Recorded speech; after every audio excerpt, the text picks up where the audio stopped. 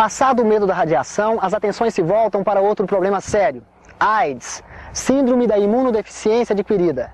Segundo o diretor do Hospital de Doenças Tropicais de Goiânia, Dr. João Guimarães, entre 2 mil e 3 mil pessoas já devem estar contaminadas pelo vírus da AIDS aqui em Goiânia. No Brasil, calcula-se que 500 mil pessoas já tenham contraído a doença. Até o momento, foram notificados 1.626 casos. A AIDS pode levar de dois meses até 10 anos para se manifestar.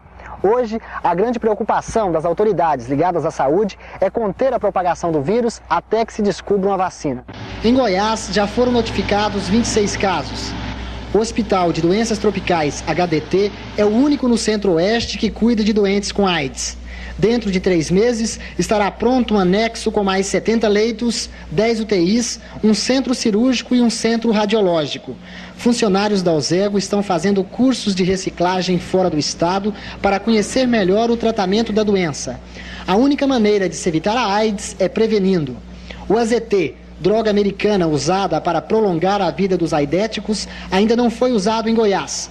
Embora liberada a importação, o custo do tratamento é alto cerca de 700 a 800 mil cruzados por ano.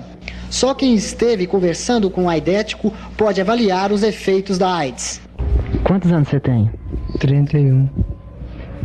Há quanto tempo você está com AIDS? Ah, que eu descobri, diagnostiquei, tem coisa de uns 20 dias. O que, é que você sente? Você, você sente alguma dor? Como é que é? Como é que você está sentindo? Dor no corpo todo.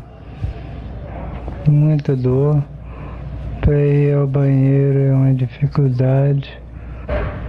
E a partir daí, como é que foi? Como é que você está encarando essa, essa nova realidade? Ah, é boa. Não estou alarmada, não.